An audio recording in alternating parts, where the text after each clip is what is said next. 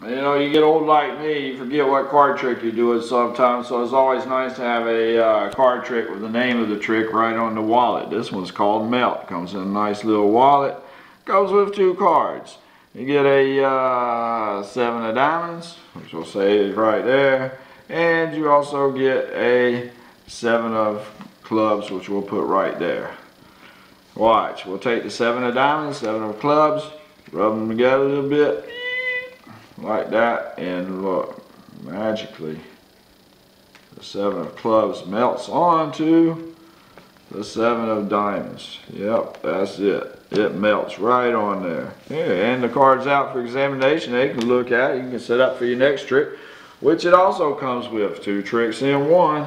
Hey little bonus see the penny why it's a penny Whoop, hey we call that inflation yeah, Madhatter magic shop. It cost you a little bit more than that little penny, but it's a good trick.